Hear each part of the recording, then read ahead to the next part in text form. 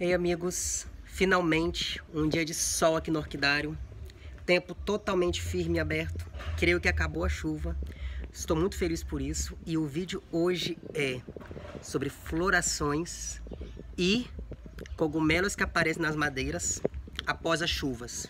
Isso deixa muita gente preocupada, tem gente que fica assim de olho a todo momento nisso e fica muito preocupado. Então hoje eu vou tranquilizar todos vocês de uma maneira bem prática, bem simples. Então me acompanhe por todo o vídeo que vai ser muito importante esse vídeo para vocês. Assim como também é para mim. Quero mostrar a vocês aqui agora a minha Cattleya varneri albescens Avalon. Foi assim que eu a batizei. De uma coloração muito diferenciada. É um cruzamento entre duas matrizes Ricardo Bells e Dona Lourdes. São duas matrizes albescens muito famosas que resultaram nessa floração magnífica que eu mostro aqui agora para vocês. A coloração é surpreendente. Eu postei essa foto dessa planta nas minhas redes sociais e as pessoas amaram. Um fato que eu quero mostrar aqui a vocês também é o que eu gosto muito. Vou levantar aqui para mostrar a vocês o enraizamento da planta. Sensacional. Então fica esse belo registro que deve ser mostrado de muita beleza mesmo. Muita beleza. Quero mostrar novamente a vocês o meu dendróbio tani, que está florido ainda, mais de 40 dias florido. E florescendo aqui em cima mais uma vez no caule dele. Vou colocar no sol para ficar mais fácil a visualização. Brotando aqui embaixo. Ele cresce de forma bem lenta, mas é muito linda essa floração. Agora mostrar a vocês uma planta aqui um pouco, como é que eu posso dizer?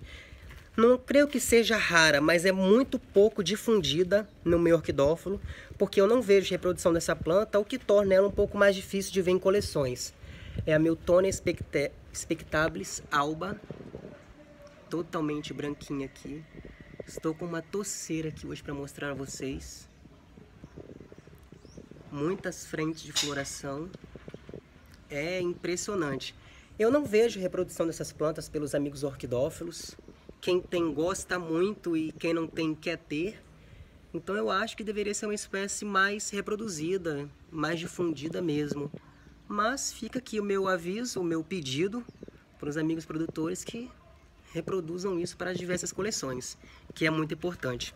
Está chegando a época de floração das Cattleya tigrinas, e hoje eu tenho aqui uma raridade muito excêntrica para mostrar para vocês. Eu estive ontem com o Alec da WZ, proprietário do Orquidaro, né, filho do, do senhor Vladislau. E eu adquiri essa planta da coleção deles, que é a Cattleya tigrina, muito conhecida por muitos como Leopold, né? Cerulha baiana. É um selfie de uma planta do mato, nativa, né? E ele me explicou que existiu uma população muito pequena de catrela tigrina na Bahia, do qual apareceu essa raridade, que é uma cerulha, e logo eles adquiriram a planta e reproduziram ela no orquidário. Então, não tem disso mais assim disponível em venda. Eu não vejo isso em coleção de muitas pessoas. E como tem história, né, é um belo registro para a coleção. É, muito legal essas plantas com alguma história a mais nelas, é bem interessante. São histórias que só orquidófilos têm para contar. É, ainda continuo na expectativa da Prestans alba florescer, que eu já mostrei para vocês aqui ontem. Agora esse sol vai facilitar muito as coisas. Esse botão muito verde é fantástico de ver. A floração da Prestans é uma coisa que eu acho maravilhosa. Eu já mostrei a vocês aqui as minhas concolores quando floresceram. Uma, não, perdão, uma concolor e uma delicata. Muito lindo, aquilo ali causou paixão em muita gente. E agora essa alba, a mesma coisa.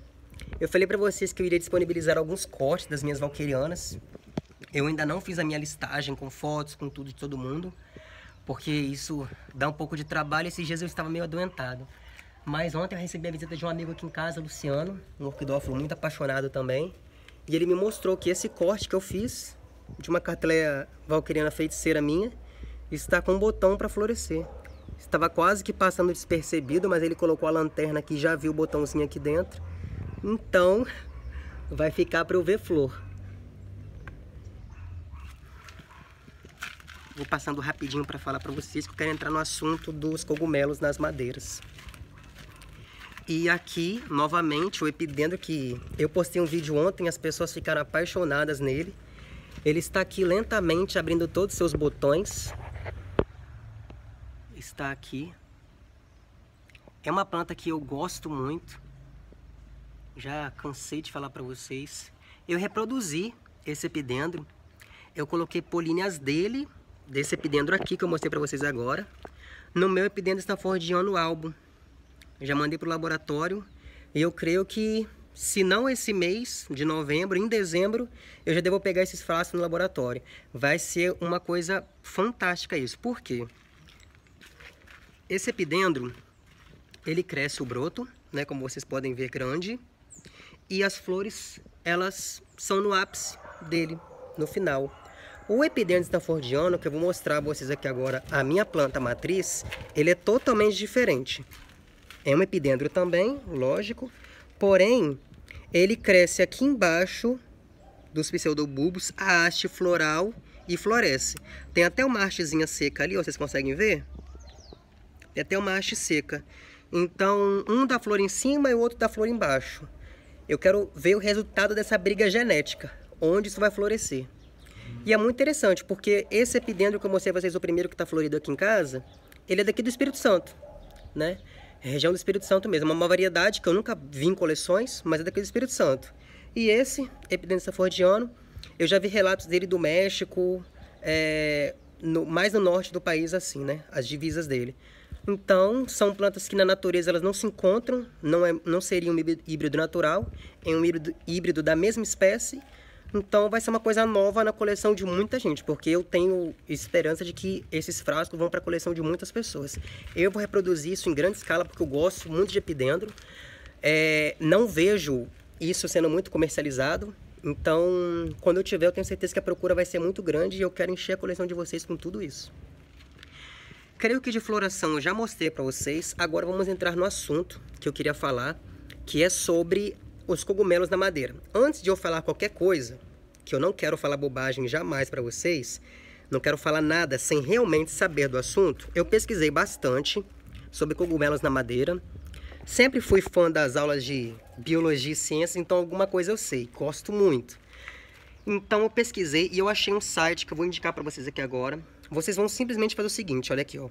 Vocês vão no Google e vão digitar cogumelos que aparecem nas madeiras depois da chuva. Esse primeiro link aqui na frente, olha, vamos colher cogumelos. Vocês vão clicar e vão ler tudo sobre ele. Olha só, é um arquivo de uma universidade de formação de curso de biologia.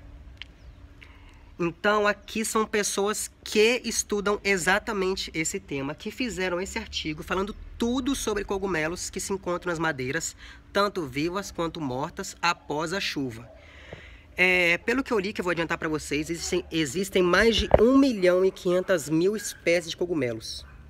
E isso representa menos de 5% das espécies conhecidas no mundo. Ou seja, a gente não conhece nada sobre isso, nada mesmo.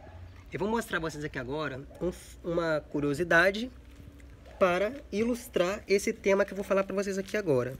Deixa eu vir para cá e colocar aqui na bancada. Uma pequena ilustração. Esse toco eu já mostrei para vocês em outras oportunidades. É um pedaço de pau de café, onde eu amarrei síndales de Sophronites cernua. Vocês podem reparar que por todo ele existem esses cogumelozinhos. Olha só. Existem esses cogumelos. E por mais que vocês pensem que isso prejudica as orquídeas, eu digo, após ler todo esse artigo científico, tema de faculdade, que eles não interferem nem na nutrição, nem no desenvolvimento das orquídeas. E também não influenciam na madeira. A madeira não se deteriora pela aparição deles, nem eles deterioram a madeira. Se vocês pensam que eles estão aqui para prejudicar a madeira, para ela se decompor mais rápido, algo do tipo, não, vocês estão enganados. É, como eu disse, existem mais de 1 milhão e 500 mil espécies de cogumelos. E de tudo isso estudado, mais ou menos três, não é uma afirmação, mais ou menos três, porque no artigo vocês vão ler sobre isso, três provocam a morte instantânea de pessoas. Comeu, morreu.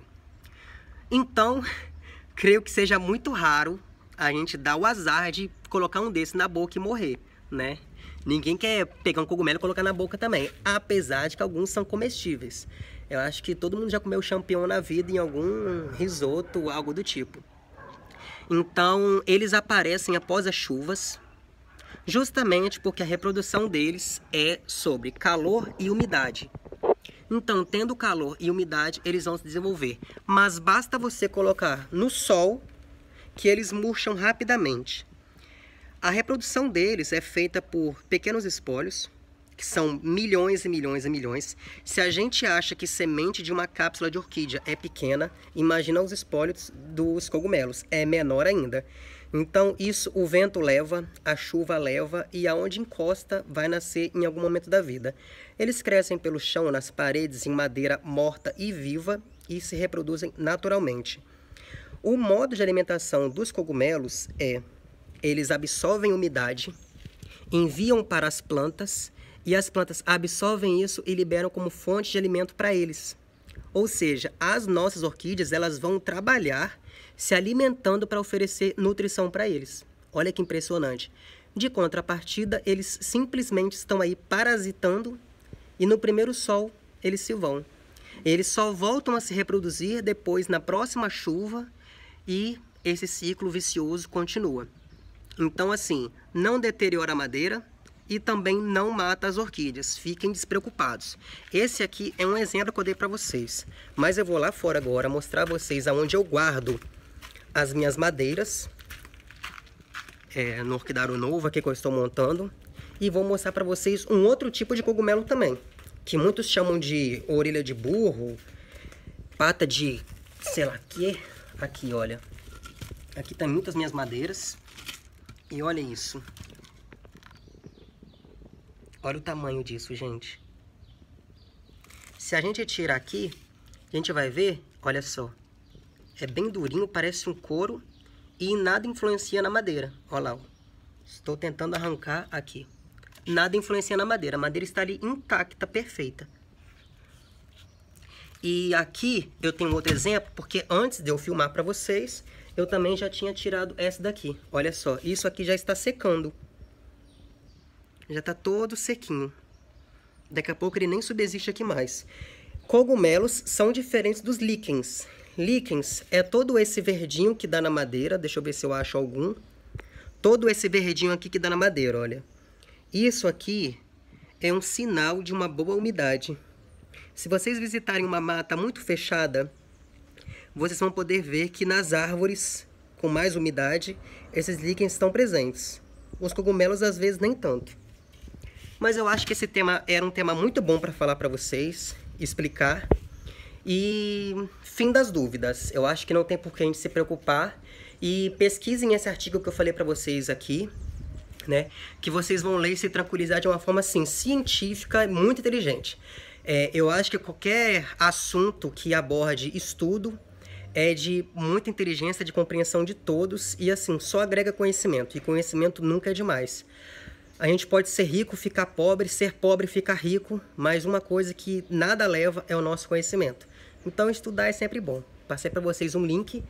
Eu falei para vocês que eu iria dispor, né, dos cortes das minhas Ricardo Bells que estão aqui, as minhas touceiras. Eu vou mostrar para vocês porque eu falei e assim, fiquei quase sem muito rápido, tem até que tirar aquelas ali. Os cortes são esses, olha o tamanho. Totalmente enraizados, várias frentes. E são cortes muito grandes, né? E quando eu falei que ia fazer corte, eu vai quase faltar planta para mim, porque muita gente pediu as raízes verdinhas. E gente, não tem como não amar isso que eu vou mostrar pra vocês aqui agora, olha. Amo, amo, amo. Olha só esse enraizamento. Raízes todas vivas. Olha só, tudo verdinho. Tudo verdinho. É impressionante. As flores aqui já estão acabando.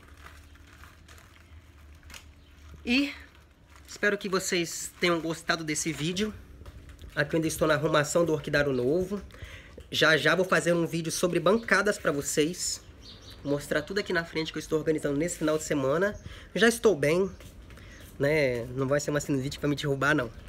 Então, espero que vocês tenham gostado desse vídeo. Qualquer dúvida, deixa um comentário, tá bom? E obrigado. Até então.